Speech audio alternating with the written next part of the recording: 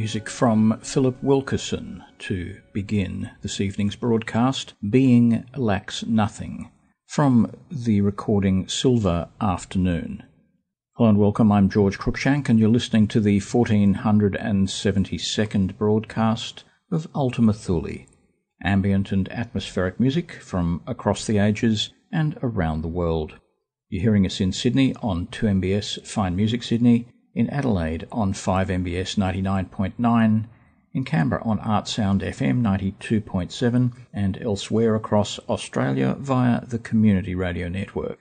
In the United States, we're on WYTX 98.5 in Rock Hill, South Carolina, and on other stations across North America on the PRX, the Public Radio Exchange.